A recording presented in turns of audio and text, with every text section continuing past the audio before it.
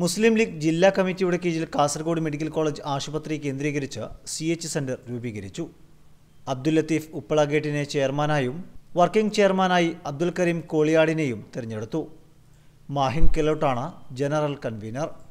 N A Abubakar Haji treasurer.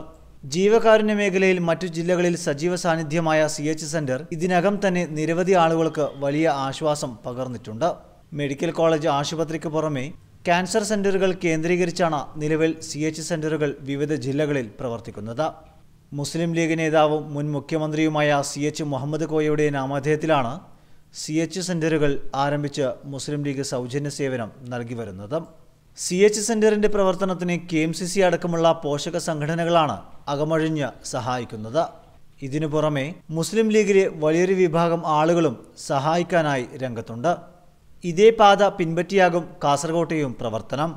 കാസർകോട്ടെ C H centre ഇതിനകം തന്നെ പ്രവർത്തനം ആരംഭിച്ചതായി ചെയർമാൻ അബ്ദുൽ ലത്തീഫ് ഉപ്പള ഗേറ്റ് പറഞ്ഞു. ഉക്കിനടുക്കയിലുള്ള മെഡിക്കൽ കോളേജുമായി ബന്ധപ്പെട്ടാണ് ഈ സി എച്ച് സെന്ററിന്റെ പ്രവർത്തനം ഇപ്പോൾ ഞങ്ങൾ തുടങ്ങാൻ തീരുമാനിച്ചിരിക്കുന്നതും. അതിനോടനുബന്ധിച്ച് തന്നെ മെഡിക്കൽ മെഡിക്കൽ കോളേജിന്റെ മുമ്പിലായി അതിന്റെ ആസ്ഥാനം ആസ്ഥാന മന്ദിരം അവിടെ സ്ഥാപിക്കുകയും അതിന്റെ പ്രഥമ പരിപാടി എന്ന നിലയ്ക്ക് അവിടുത്തെ അവിടെയുള്ള പാവപ്പെട്ട രോഗികൾക്ക് ഭക്ഷണം എത്തിക്കുന്ന മാസങ്ങളായി അതിന്റെ പ്രവർത്തനം നടത്തിക്കൊണ്ടിരിക്കുകയാണ്.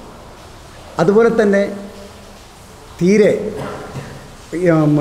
സാമ്പത്തികമായി പിന്നോക്കം നിൽക്കുന്ന രോഗികൾക്ക് മരുന്നും എത്തിച്ചു കൊടുക്കുന്ന ഒരു സംവിധാനം ഇപ്പോൾ തന്നെ സി എച്ച് സെന്ററിന്റെ കീഴിൽ ഇവിടെ നിലവിൽ വന്നു കഴിഞ്ഞു. ഭാവിയിൽ ഒരു പത്ത് കോടി രൂപന്റെ വിപുലമായ ഒരു പദ്ധതിയാണ് ഞങ്ങൾ ആസൂത്രണം ചെയ്തിരിക്കുന്നത് സി എച്ച് സെന്ററിലൂടെ ഇവിടുത്തെ ഉദാരമതികളായ നാട്ടുകാരുടെയും ഇവിടുത്തെ സമ്പന്നരുടെയും ഒക്കെ സഹായത്തോടു കൂടി അത് പ്രാവർത്തികമാക്കുവാനാണ് ഞങ്ങൾ തീരുമാനിച്ചിരിക്കുന്നത്. അതിന്റെ ഭാഗമായി അവിടേക്ക് ആവശ്യമായ എല്ലാ ഫെസിലിറ്റികളും അതായത് ഡയാലിസിസ് സെന്റർ മുതൽ ആംബുലൻസ് മുതൽ അതുപോലെ തന്നെ ഫ്രീസർ മയ്യത്ത് പരിപാലനം ബോഡി ഡെഡ് ബോഡി പരിപാലനം തുടങ്ങിയ അത്യാവശ്യമായ ഈവൻ റിഹാബിലിറ്റേഷൻ സെന്റർ അടക്കമുള്ള അത്യാവശ്യമുള്ള എല്ലാ സർവീസുകളും നൽകാനാണ് സി എച്ച് സെന്ററിന്റെ പദ്ധതി. അത് അതിന്റെ പ്രവർത്തനം ആരംഭിച്ചു കഴിഞ്ഞു. അത് വലിയൊരു മാസ്റ്റർ പ്ലാനോടുകൂടി ഞങ്ങളത് ഒന്നും കൂടി ഒരു മുപ്പത് ദിവസത്തിനകം അതിന്റെ മാസ്റ്റർ പ്ലാൻ തയ്യാറാക്കാനാണ് തീരുമാനിച്ചിരിക്കുന്നത്.